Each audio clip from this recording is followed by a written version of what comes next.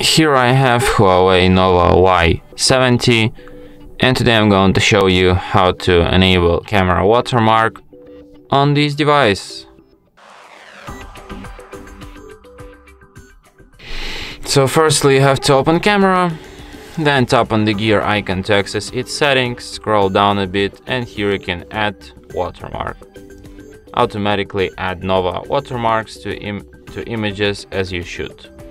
So just for example, let's take one photo and uh, here I'm gonna show you how it's gonna look like.